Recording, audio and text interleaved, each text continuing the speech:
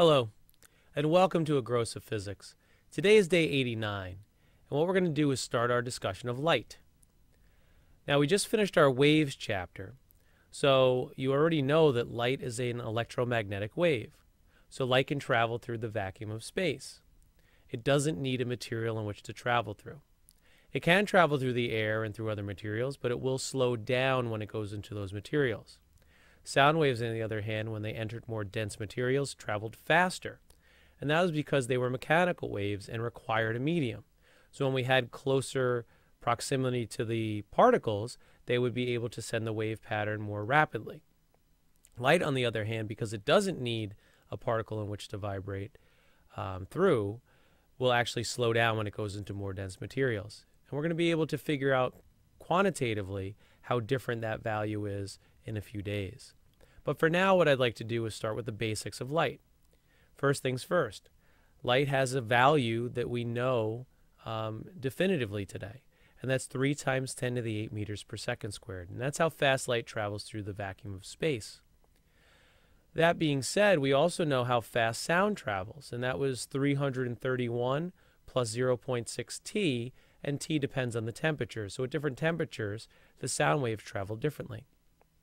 Now, there's a common example of light and sound uh, corresponding to one another, and that's during thunder and lightning.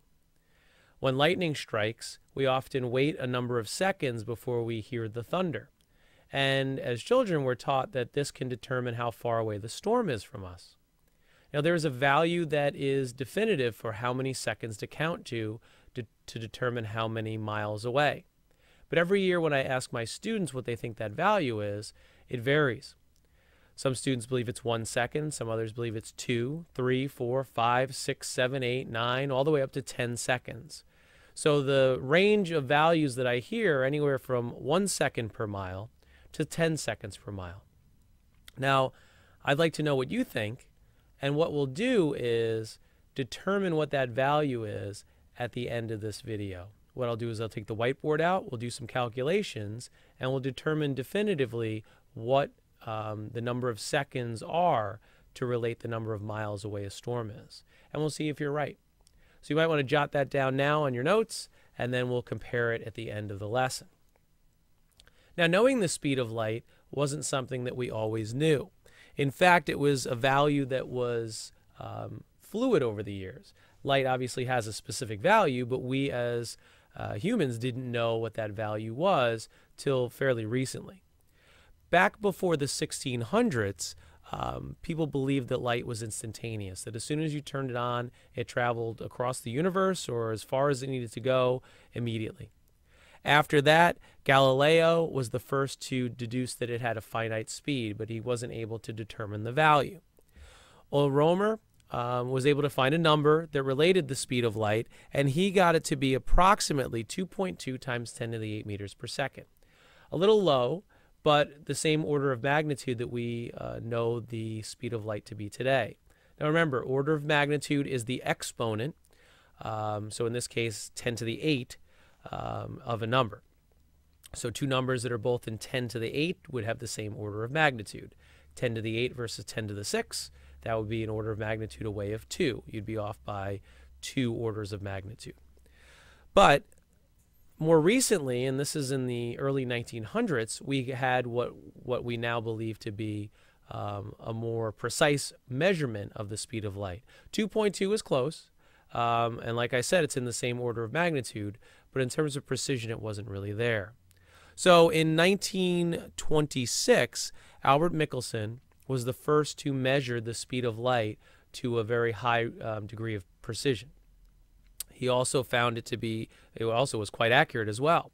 So Albert Michelson was the first American to receive the Nobel Prize in Physics, and it was because of his work with the speed of light. And what he did is he measured it in 1926. And he worked on this for most of his career. Um, but the value that he got was determined by doing a specific experiment um, using two mountains and mirrors and light. And what he did is we climbed up uh, Mount Wilson and Mount San Antonio, which were approximately 35 kilometers apart.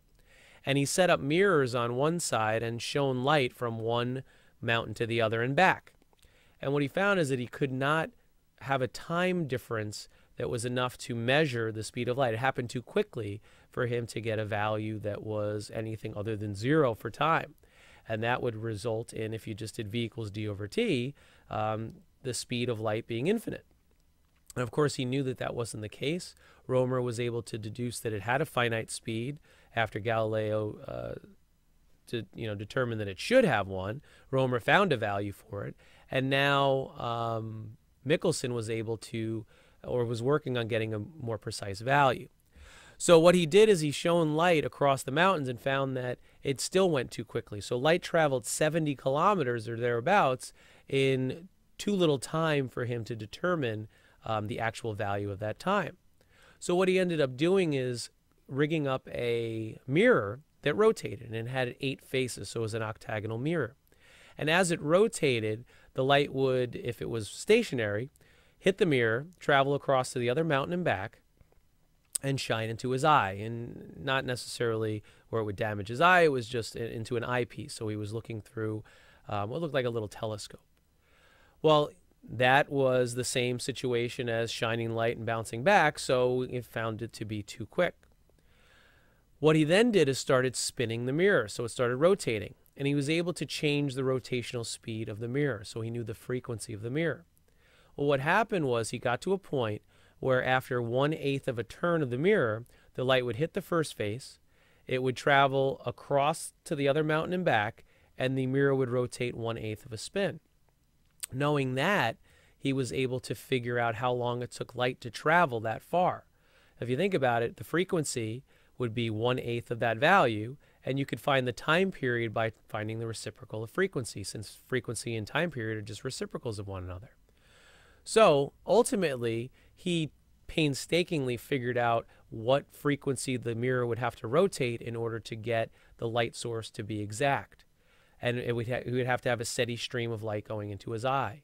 If he shone the light and the mirror was spinning too quickly, it would miss his eye. If it was too slowly, it would also miss his eye.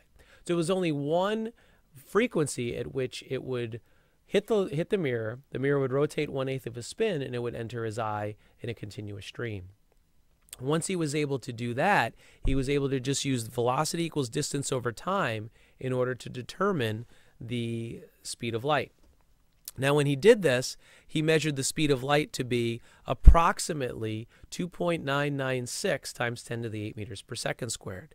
Now, that value is just about the same value that we use today. Um, remember, light travels at 3 times 10 to the 8 meters per second, but that's in the vacuum of space. When light travels through the air, it does slow down. And his precision was a very small percent error compared to the values that we know now. We're able to use um, lasers and able to use much more precise timing devices to measure the speed of light today. But in 1926, Albert Michelson was able to find the speed of light by shining light from one mountain to another and back using a mirror that rotated um, one eighth of a spin on a rotating um, spindle, kind of like a record player. Ultimately, the Nobel Prize for Physics was awarded to, the Ameri- to an American for the first time by using the equation V equals d over t. So sometimes, although an equation may be easy, it's difficult to collect the data. So in this case, it was quite painstaking to collect all this data, he worked on this for most of his career, most of his life, and he worked with other things dealing with light. So Albert Michelson in 1926 came up with the speed of light to be 3 times 10 to the 8 meters per second. We use c as the symbol for the speed of light, and it's a lowercase c. And that is going to be what we determine um, if we're looking for a specific value of the speed of light. That's going to be our basic value, our 3 times 10 to the 8. So c represents the speed of light in a vacuum. Um, remember, in a material medium, the speed of light will decrease. And like I said before, we'll be able to calculate that more effectively when we have an equation for it. But for now, just realize that the more optically dense an object is, the slower light will travel.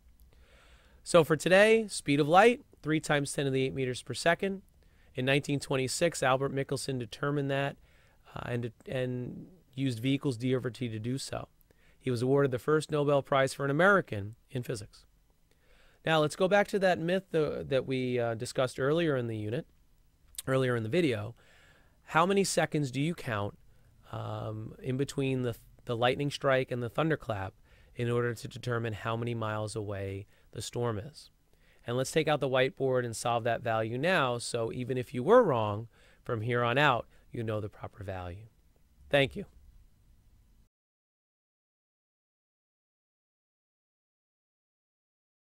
All right, I'd like to look at the classic debate now as to how many seconds one's supposed to count in between the lightning strike and the thunderclap to determine how far away the storm is.